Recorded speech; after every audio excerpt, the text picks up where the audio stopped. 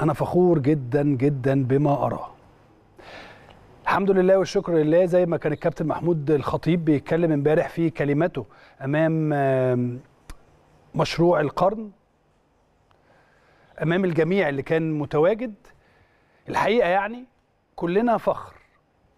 لازم نكون كلنا فخورين إن إحنا أهلاوية وإن إحنا بننتمي لهذه المنظومة الرياضية الناجحة.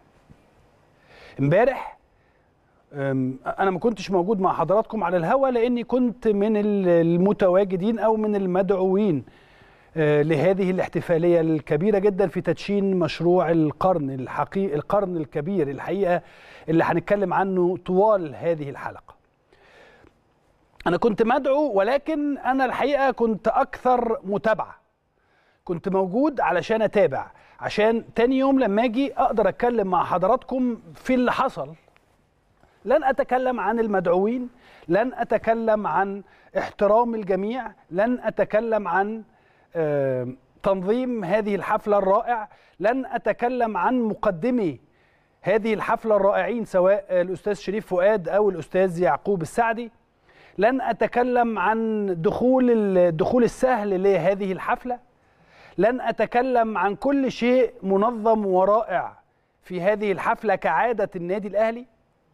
ولكن هتكلم عن موقف الحقيقة آه، أنا شفته خلاني أفتخر أكتر وأكتر وأكتر ودائما أكون ما أكون فخور آه، بهذا الرجل بهذا النادي الكبير. وإن أنا واحد من الناس اللي اللي بيتعلموا من كابتن محمود الخطيب. كابتن محمود الخطيب رئيس النادي الأهلي اتكلم امبارح في كل الأمور الخاصة ب- بما سيحدث في هذه الاحتفالية. وبعد كده الأستاذ الدكتور محمد سراج طلع مع كابتن أحمد شوبير وشرح الأمور. ولكن جات الظروف إن أنا كنت قاعد في مكان كان ورايا على طول آه، آه، دكتورة نيرفين زوجة الكابتن محمود الخطيب وأولاده وكل الناس كانت موجودة في في ظهري على طول.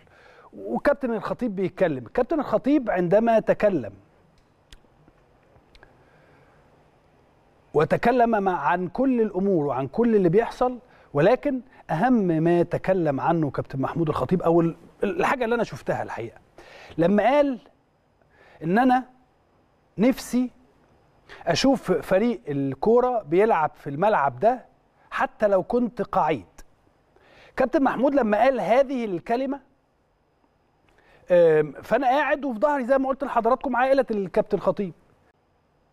الكل عيط. ويمكن الكابتن خطيب في كلمته أشار إلى إن هو خلال الفترة القادمة هيسافر عشان يتعالج. هنا أنا فهمت يعني فهمت ال- عائلة الكابتن خطيب ورايا بتعيط.